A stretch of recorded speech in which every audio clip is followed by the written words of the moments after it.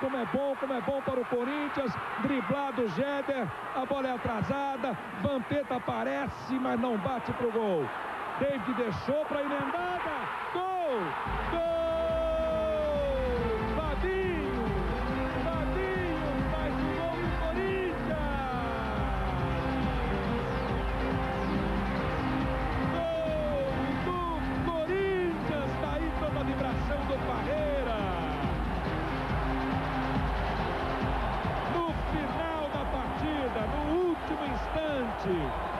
Fabinho, Fabinho faz 1 a 0, 1 a 0. Um golaço, um chute de fora da área, uma, uma- jogada de toque de bola do Corinthians, mais uma jogada de toque de bola.